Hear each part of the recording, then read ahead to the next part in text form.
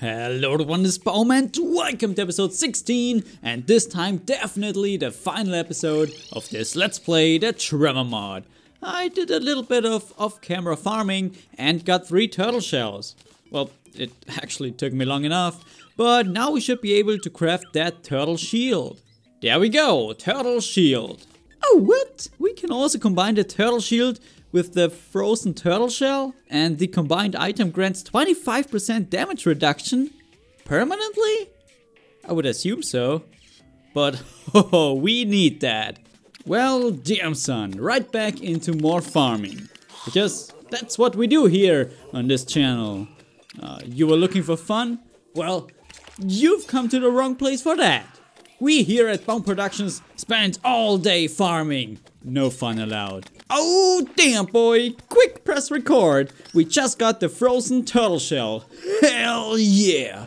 And this didn't take long at all. Well, I guess average luck doesn't exist for me. I'm either in RNG heaven or RNG hell. And in this case, we are back in heaven. Oh yeah. Alright, here we go. The less health, the more defense, and 25% damage reduction. Man, this should help us a lot. Let's actually test now how much more defense we get as we lose health. 88, 91, 97, and maybe 105. Uh, what the heck just happened? I told you to stop the black sorcery thingy.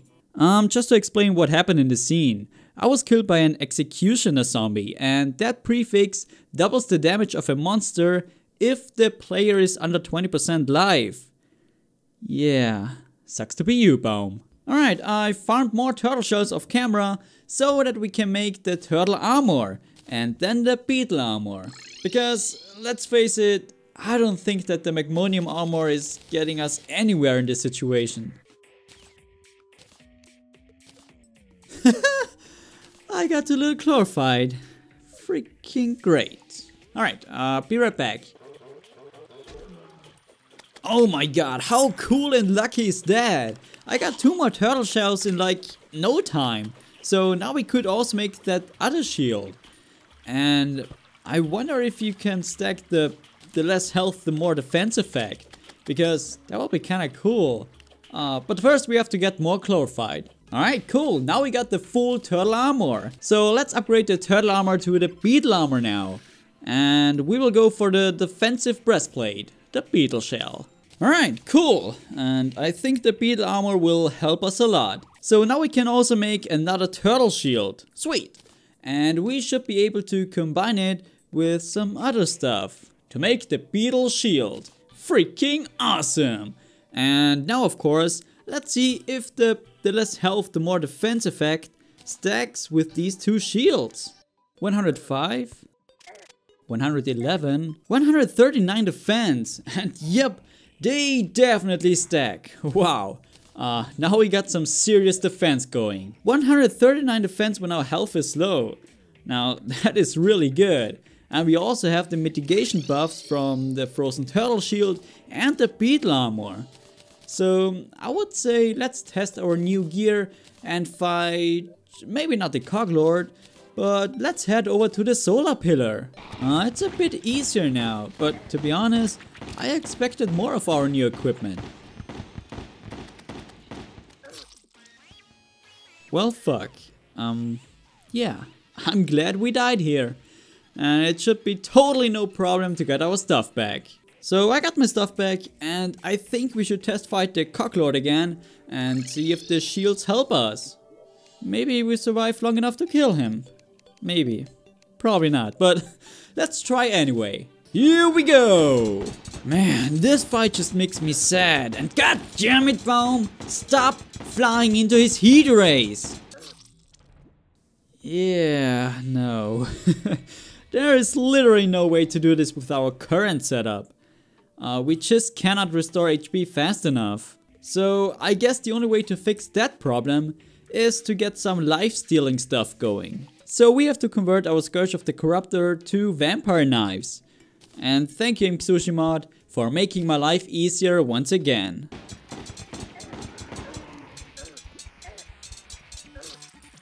Um, okay, that was pure ownage. oh my god. Um, I guess we need more invincibility time too.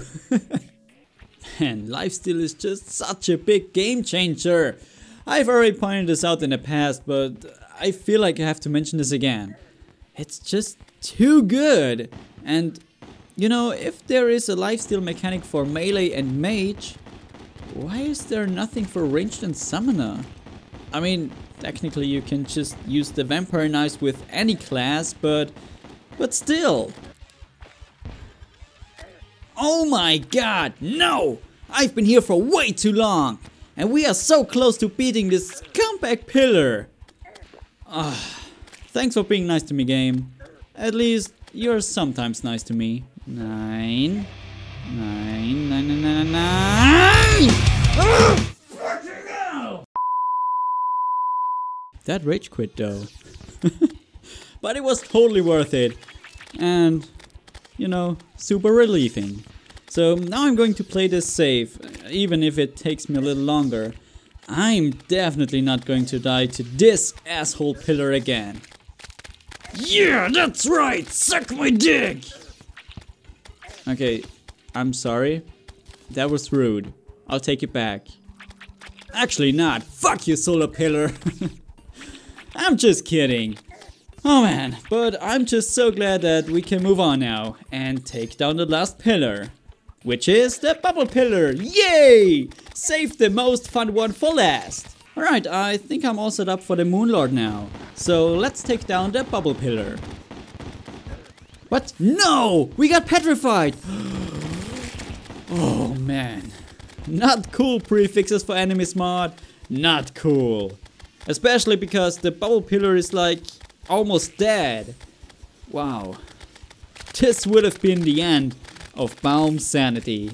My god. But there we go, the last pillar is down. Let's get back and get in position. I'm going to do this fight a little cheaply. Uh, reason for that is I just can't take any more rage. And I just want to win this and move on. Baum, you're probably gonna die anyway. Yeah, funny. Shut up. I'm not that bad, okay? And this final boss is just so well made. I'm constantly on the edge to dying, but I somehow keep getting my health back up. It's a constant back and forth. It's so much fun, I love it! Relogic, I love you for this battle. It almost lets me forget about that comeback solar pillar. Yeah, I keep my eyes on you, Relogic. Mmm, yes! And now the Wyvern is going to finish me, right? Alright, awesome. And here's to hoping to get an awesome weapon that hopefully helps us to kill the Coglord. Rainbow Crystal Staff? What? I have never gotten this one before. Oh, it's so pretty! Oh, that's so cool! but it's rather useless for us. It's probably not going to help much against the Coglord. And the main reason for me to go and kill the Moonlord was actually to get a better weapon, so that we might have a better chance against the Coglord. Ah, well. Oh my god, it's so incredibly pretty. It melts my ice cold heart. imkSushi Mod, I love you.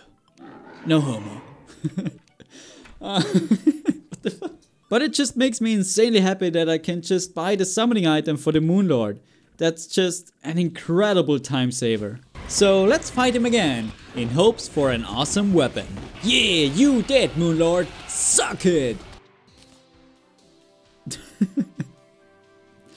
okay, the game is back at shitting all over me. I love you too, Terraria. Okay, a little jump into the future.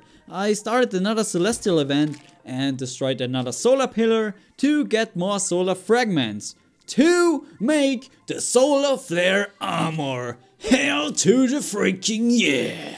Alright, Mr. Sir Coglord, if that is even your name, I'm confident that you are going down this time. Let's go, you unfair prick!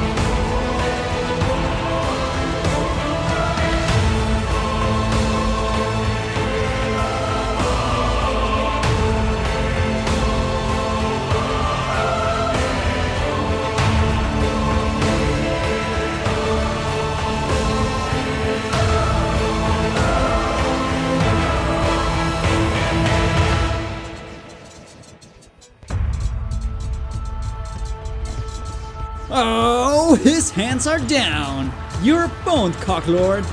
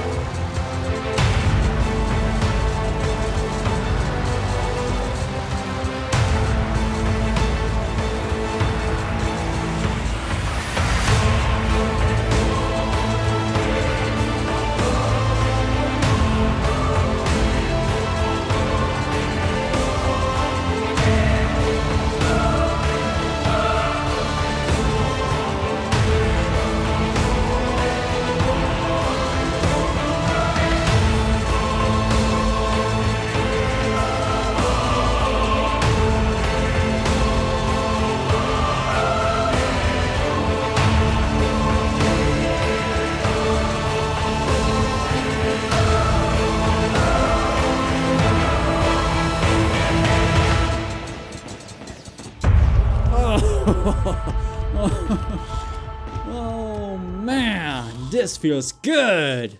This feels really good. And you know, there are not many moments where I can say, Hey Baum, you did well. I'm proud of you. Good job. But this is definitely one of them. Ah, glorious. Alright, what's in the treasure bag? Nice, we got one piece of the armor. And needless to say that this armor set doesn't really fit to our current progress. Like, not at all. Um, then we also got these throwing cogs, which is pretty cool. Celestial Rail Staff. Whoa! Now this is cool as all hell! I love it! Yeah, the damage sucks ass. Well, that's simply because the Coglord is meant to be fought, like, I think before Plantera? Or somewhere around there. So, yeah. uh, you're so funny, game. Uh, I wanted to try and get another Moonlord weapon and... Yeah, the game decides to give me another celebration. Um, I want a refund, Relogic. Alright, it's nighttime again. And that means time for another Coglord. Uh, we still need the two other pieces of the armor. And yeah, um, I'm okay with the game screwing me over when it comes to RNG, right? But please, not in this case. I certainly want to avoid to fight this ass 20 times or more. So, please Terraria gods, hear my prayers. Hmm. Once you got the right equipment for this fight, and you know what you have to do, it's not that hard anymore. Huh. Interesting. Alright, let's see what we get from these two treasure bags. Another helmet, really? And another one? Oh, you. I nicely ask you to be nice to me. And how do you repay me? With more RNG hell. God, I hate you. so, hey guys, funny story. If you ever get a Trickster Moonlord, kill him as quickly as you can. Because he gets stats up all the time. And, well, how should I put it? He fucking has over 1 million health now! Well, not now, but his maximum health would be 1 million. Like, what the fuck prefixes for enemies mod? oh my god. Trickster Moonlord, 1 million HP. Very funny game. Time for another Coglord. Sweet! And what's our reward? Two helmets. What?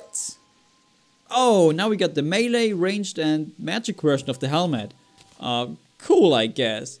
But we also got the greaves this time. Hell yeah! Only the steampunk chestplate remaining. Okay, um, another funny story.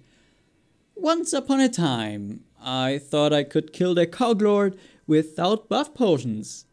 Uh, it turned out I got impaled by his heat ray that night. The end. Alright, this time I got my buff potions again. Even though it feels like I can kill him without problems now, he still is a cog. And super dangerous. And should never be underestimated. Lesson learned. Okay, this is getting too close. Nine, nine, nine. I can't risk that. Dying is just not worth it. Whew, another one down. And it was a really tough fight again. Oh my god! Another armor set! No, no, no, wait. All armor sets collected! Oh yeah! At least of what I know. I mean, there could be more. I don't know. Alright, it doesn't really make sense to go over the stats of this armor because, well, it's there's just no point. It's an early to mid hard mode armor, so yeah. But I think the set bonus is worth the mention. Summons a friendly steampunk drone to, def to defeat you? oh, autocorrection is back at it again. I'm just kidding. Of course it should say to defend you, but it's a hilarious mistake. Alright, so that's it guys. And as you can see, we've collected all 24 armors of the current version of the Tremor mod. And the most difficult ones were definitely the Afterlife armor. Well, maybe not difficult, but it was an insane grind for an okay armor. And of course the Steampunk armor. It took a lot of effort to beat and especially farm a boss which is considered broken. And we also needed an unholy amount of ectoplasm for some of the others. But yeah, we did it! Yay! And I'm glad you guys stuck with me until the very end. I really appreciate you guys' support. Alright, as a final thing, Ooh, that's light though. As a final thing, let's check out the luxurious armor combined with the mining potion and light shroomite digging claws. Let's do it. Uh, yeah, I expected it to be a little bit faster to be honest, but man, it's still super fast. Okay, so as usual, let's talk a little bit about the mod, about the Tremor mod. Um, it started out oh so sweet with all these cute little armors which gave you a tiny little boost to a certain class. And I loved it. I still do. Then throughout pre-hard mode, you can make so many other armor sets, which is great, and you have a lot of options, but only a few of them were actually worth making. Most of them don't have good stats or are simply too hard to farm. And by too hard, I mean some armors of the vanilla game would be way easier to get and probably would be better as well. So yeah, this goes on throughout pretty much the whole game. For every modded armor, you could make a vanilla armor and probably be better off with that one. Of course you could just play like the way I did and just insist on mainly using modded gear. Because, well, you got that mod to play it, right? But yeah, you feel a little bit fooled when you see you could have just made a vanilla game thing and would be better off. If I were to make a content heavy mod, I would make sure that most of my items are slightly better than something from the vanilla game. I feel like you should reward the player for using your modded items. But maybe that's just me and that's totally just my opinion. And currently we are patiently waiting for that 1.3 update which should fix most, if not all the balancing issues and also add new content. Well, sounds great, right? But you know, this update has been postponed since June, I think? And then they said, hey, it will be out this summer. Well, and now it's just sometime 2016. So they are definitely playing with our feelings. But I mean, I'm okay with waiting. The only thing that I don't really understand is why didn't they fix some of the insane problems like the Coglord with a small hotfix? Like, it doesn't really seem too much to ask for, right? But yeah, all in all, a solid content mod with great ideas. Some of them were just poorly executed or simply not right balanced. But I really liked pre-hard mode. There was quite a lot to explore and craft. Same for early hard mode. Mid and late hard mode fell a little flat in my opinion. But I don't mind that too much since there is definitely stuff to come in that 1.3 update. Which you better don't postpone again. Deaths of the Tremor mod. But anyways, I guess that's enough talking about the Tremor mod. I'm really looking forward to the 1.3 update. Should be awesome. But yeah, I guess for the last time of this series, I hope you guys have enjoyed watching me derping around. And as always, thank you guys so much for watching, enduring my stupidity, being patient with me, and yeah, I hope you have a sweet day, and stay